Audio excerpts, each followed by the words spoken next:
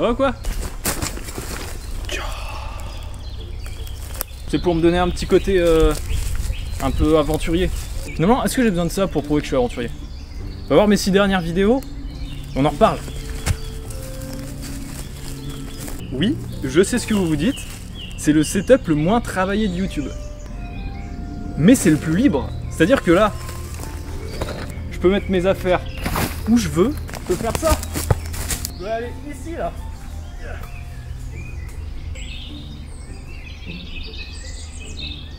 Je peux de super-héros.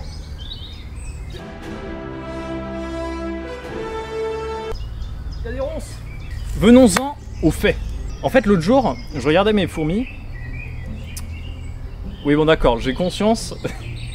j'ai conscience que cette première phrase. Non, mais laissez-moi une deuxième chance. Non, attendez, attendez, partez pas tout de suite. Je suis passionné de fourmis, ok? Tout le monde, jusqu'à là, c'est bon. Je vous vois sourire derrière votre écran. Mais en fait, justement, à chaque fois que je dis ça, les gens rigolent. Mais attendez, attendez. Je vais vous dire des trucs absolument incroyables que les fourmis font.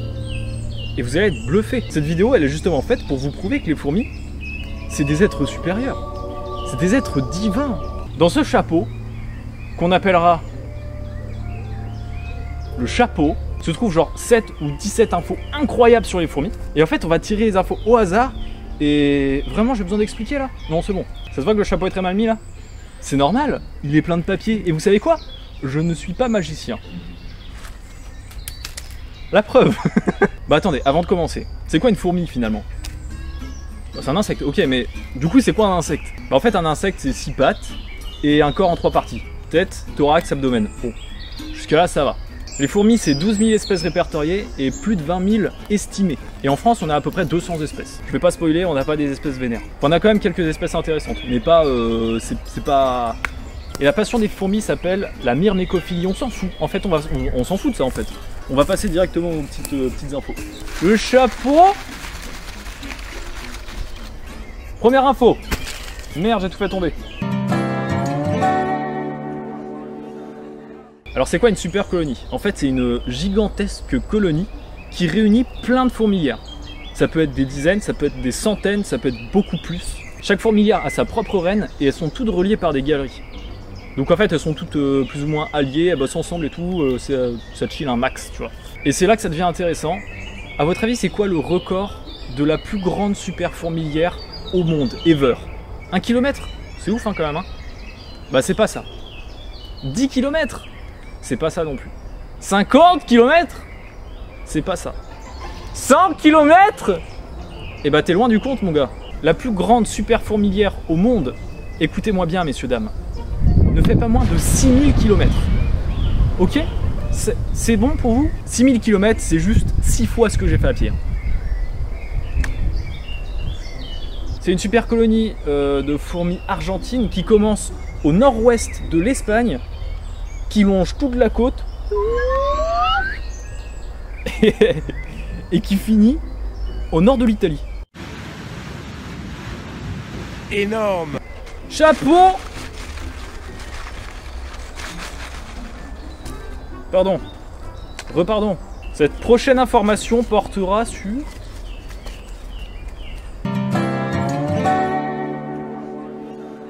Bon, je pense que vous avez tous entendu dire qu'une fourmi, ça peut porter 10 fois, 20 fois, 50 fois, 100 fois son poids, on entend un petit peu de tout. La vérité, c'est environ 60 fois. Maintenant, ça dépend les espèces. Par exemple, les fourmis tissandres, c'est plutôt 100 fois leur poids. Vous en faites pas, on va reparler des fourmis tissandres après. Elles font des trucs un peu stylés aussi quand même. Et par contre, il y a un truc que les gens savent moins, c'est que par rapport à leur, euh, à leur corps, en fait, par rapport à leur morphologie, les fourmis pourraient théoriquement porter 1000 fois leur poids avant de se faire une blessure. Après, je le fais. hein. Perso, moi, je le fais. hein. Regarde, finalement, eh, l'arbre là, je le soulève comme je veux. Tu vas, mon gars Peut-être pas aujourd'hui, quoi, mais. Non, mais c'est juste, je suis pas trop en forme là ce matin. Et il y a encore plus ouf. Bah, ça dépend des espèces, encore une fois. Mais euh, une fourmi peut supporter entre 3500 et 5000 fois son poids avant que son cou ne cède. Comme ça, ça paraît peut-être pas. Mais 5000 fois son poids, c'est genre pour un, mec de 100 kilos, ça ferait 1000, 10 000, 100 000, 500 tonnes en fait. C'est beaucoup hein Chapeau magique Le prochain sujet porte sur eh ben, les fourmis tissandres. Mais c'est incroyable ça. Bon, qu'est-ce que c'est une fourmi tissandre? Eh ben, c'est une fourmi qui ne, fait, qui ne vit pas dans une fourmilière sous terre, mais qui vit dans un, dans un nid qu'elle fait avec des feuilles, des feuilles euh, d'arbres. C'est pour ça qu'elles sont un peu costauds là. C'est pour porter des grosses feuilles. Pour des feuilles ou quoi? C'est pas contre vous les fourmis tissandres.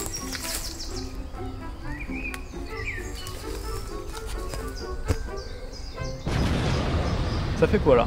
Bon, par contre, le truc un peu stylé chez les fourmis c'est comment font-elles pour assembler les feuilles entre elles? Elles font de la couture. C'est pour ça que ça s'appelle des fourmis tissandres en fait. Ouais, non, mais elles font. Enfin, alors la couture, oui et non. En fait, elles les collent entre elles plus qu'autre chose. Enfin, je sais même pas exactement. Mais en gros, elles utilisent les fils de soie de leurs larves pour assembler les feuilles les unes aux autres et former leur nid. Non, mais c'est vraiment stylé par contre. Non, c'est un peu stylé quand même. Chapeau suivant Nous sommes donc sur...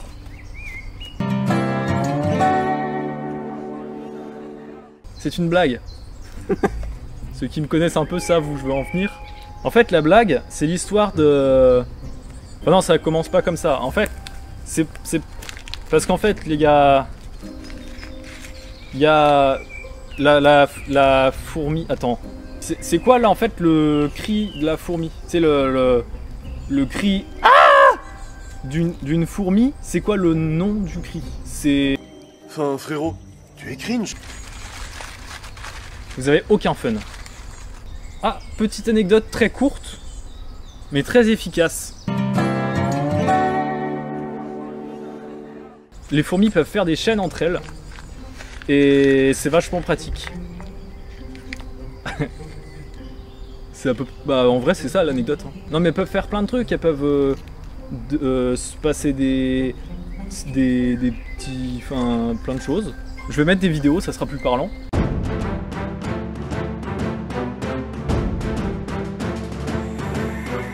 Non, y a- en vrai, en vrai de vrai, il y a une vidéo qui est oufissime euh, d'une fourmilière qui attaque une ruche en faisant une chaîne comme ça. Je veux vraiment, la vidéo parle d'elle-même.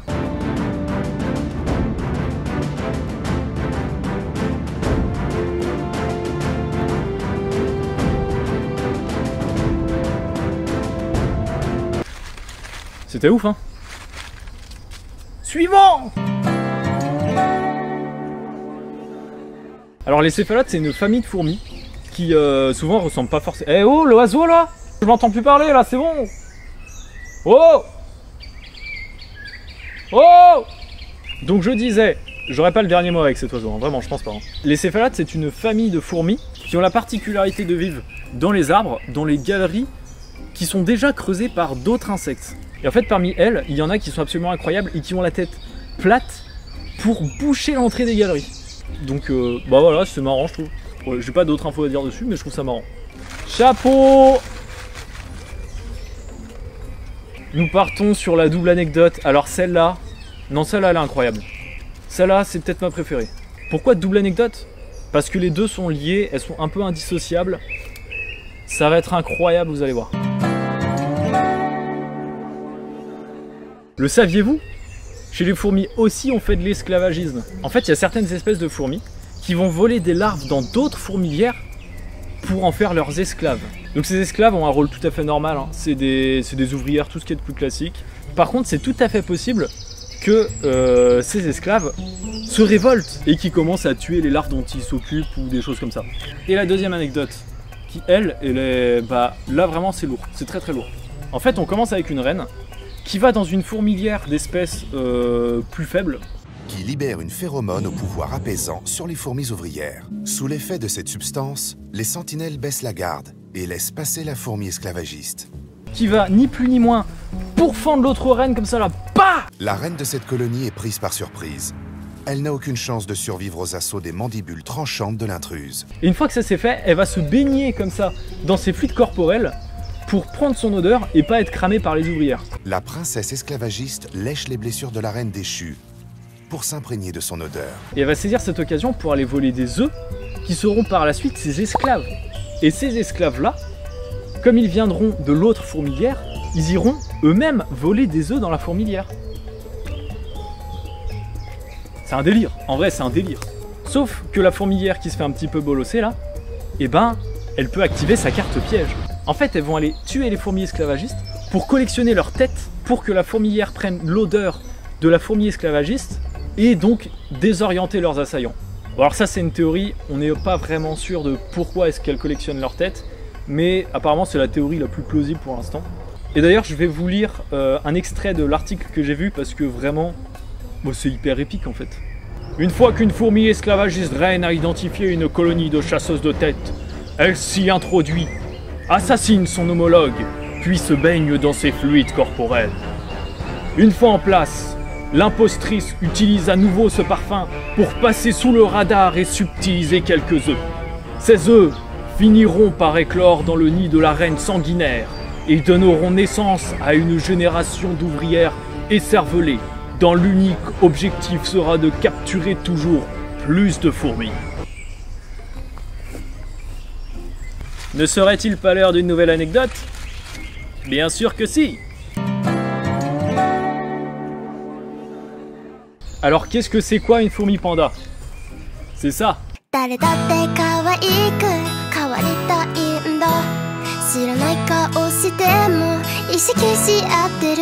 En fait, il existe très très très très très très très très peu d'informations sur cette fourmi.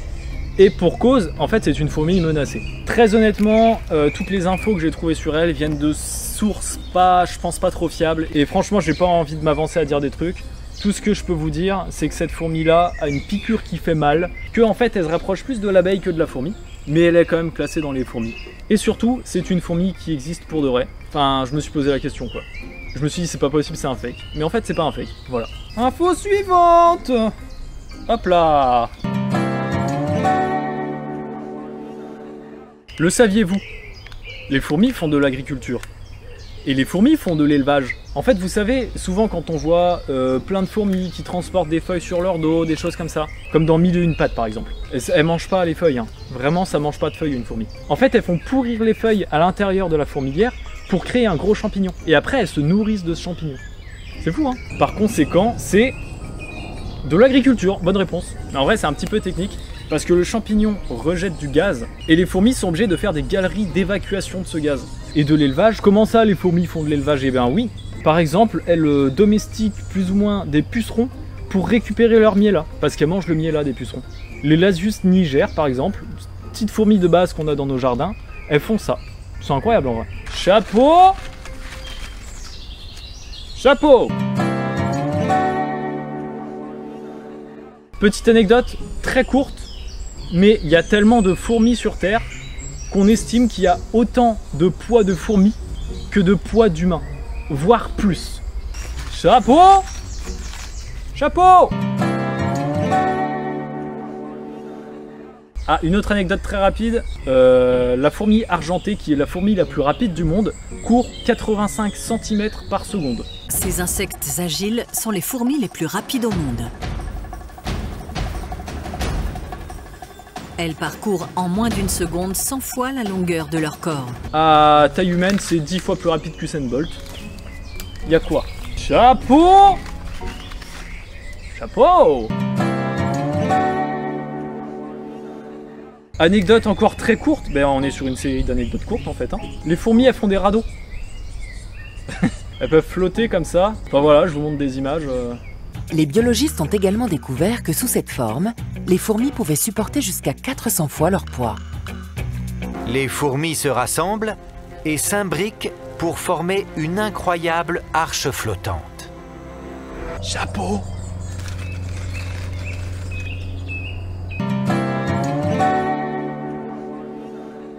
Les fourmis légionnaires. Bah ça c'est un gros sujet par contre. Non mais c'est à dire que les fourmis légionnaires, je pourrais sans problème faire une série entière de vidéos sur elles. Bon, ce qu'on appelle fourmis légionnaires, c'est un terme générique qui regroupe plusieurs espèces. Mais en fait ces espèces ont toutes la même particularité. Elles sont nomades, très agressives et s'attaquent même à des animaux de grande taille. Le crocodile bloque l'accès à toutes les parties vulnérables de son corps. Les fourmis cherchent un point faible qu'elles pourraient attaquer. En fait, c'est les fourmis qu'il y a dans Indiana Jones euh, 4, je crois, le crâne de cristal ou un truc comme ça.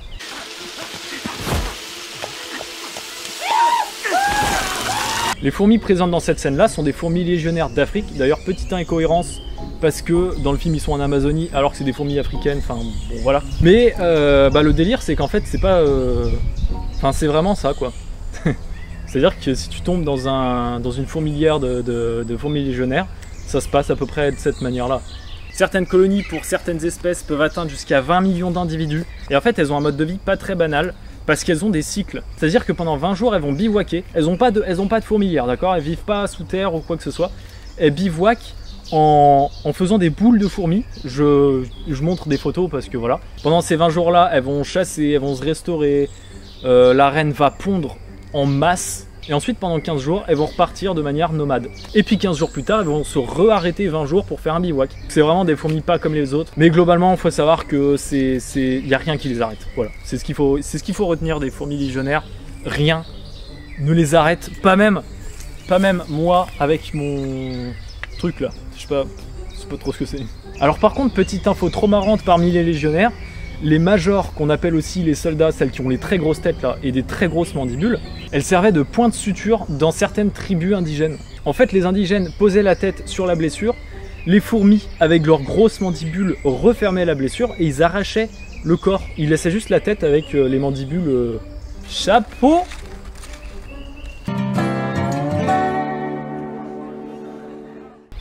Alors ça, j'ai découvert ça tout à l'heure.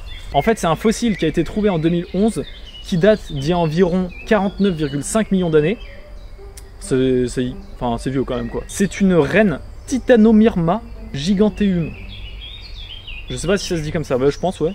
Elle fait 6 cm de long et 15 cm d'envergure. Parce qu'elle a des ailes quoi. Bon, ça fait quand même de la très très grosse fourmi, sachant qu'à l'heure actuelle, les plus grosses fourmis font dans les 3 cm. Chapal Nous sommes à l'avant-dernière anecdote, messieurs, dames. À votre avis, combien de temps peut vivre une reine? Je vous arrête tout de suite, vous êtes à côté de la plaque, d'accord? Le record aujourd'hui en laboratoire est détenu par une Lasius niger, donc euh, ce qu'on trouve dans nos jardins là, 28 ans. Cette fourmi est plus vieille que moi. Et ça, c'est ce qu'on a constaté en laboratoire. Ça veut dire que dans le monde, il y a probablement des fourmis qui vivent plus de 30 ans, quoi. À côté de ça, euh, chez les ouvrières, c'est hyper variable selon les espèces. Il y en a qui vivent 6 mois, il y en a qui vivent plus de 4 ans, mais globalement, ça vit beaucoup moins longtemps qu'une reine. Et pourquoi? Et bien globalement parce qu'une reine c'est assisté, là où une ouvrière ça passe sa vie à travailler en fait. Une reine ça dort beaucoup plus de temps par jour. Enfin en vrai, une fourmi ça dort pas vraiment, ça se repose. Mais voilà. Et puis tout simplement, elle a un meilleur système immunitaire. Parce qu'en fait, si la reine meurt, c'est la galère. Et hop Dernière anecdote Ça, je pense qu'il y en a plein d'entre vous qui la connaissent. Son vrai nom, c'est la Paraponera. Bon, en vrai, on s'en fout, mais euh, voilà. Donc, elle a une piqûre extrêmement douloureuse.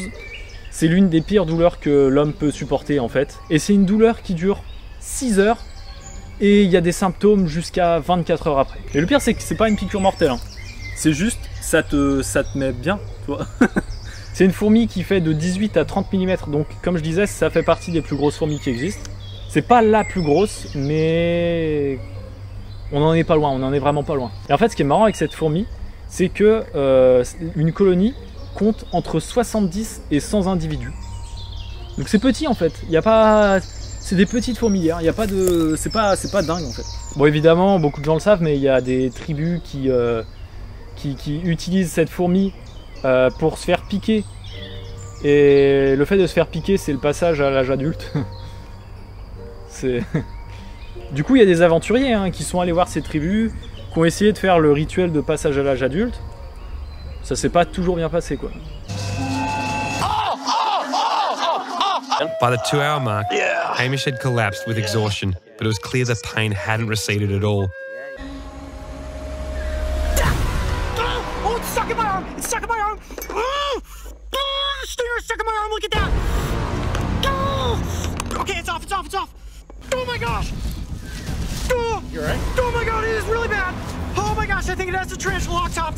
Bah voilà, c'est tout. Enfin c'est tout, c'est déjà pas mal en fait. Bon, il y a évidemment plein d'autres euh, plein d'autres trucs trop stylés sur les fourmis, hein, je vais pas mentir. Genre à quoi ressemble une fourmilière en fait? Il y a des gens qui ont rempli de ciment une fourmilière et ça donne ça. It is the equivalent of building the Great Wall of China. It is truly a wonder of the world.